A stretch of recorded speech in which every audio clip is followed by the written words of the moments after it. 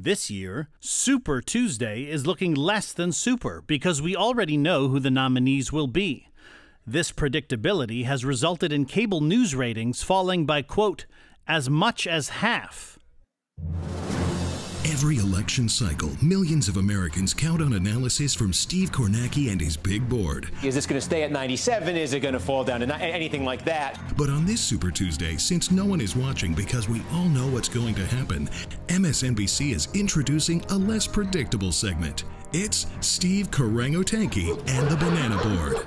Sure, we know who the nominees will be, but what will Steve Karangotanki do next? Will he roll on the floor this way? Will he shuffle on the floor that way?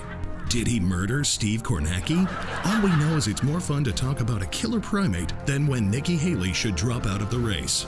So tune in to our Super Tuesday election special with Steve Karangotanki, MSNBC. We could really use a Mitch McConnell sex scandal right about now.